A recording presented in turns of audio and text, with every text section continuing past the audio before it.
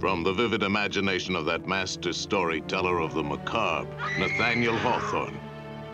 Alice!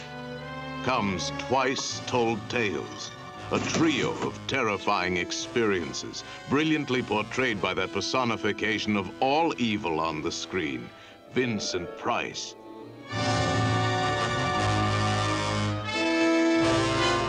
In this tomb, you will live a pulse-quickening adventure as two friends dabble in the black arts, and a secret buried in the grave returns to haunt two unfaithful lovers.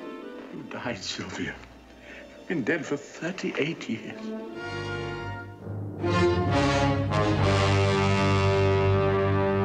In this garden of evil unfolds the diabolic delineation of the most fantastic horror conceived by a distorted mind. Since my father made me what I am, he used its poisons to change the chemistry of my blood. Watch that poor creature die. You would die if you touched me.